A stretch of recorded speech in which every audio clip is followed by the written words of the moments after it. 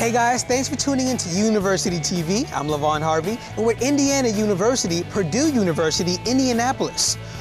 Okay, now that we've got the hard part out of the way, we'll just leave it at IUPUI to make it easier for me, and you too.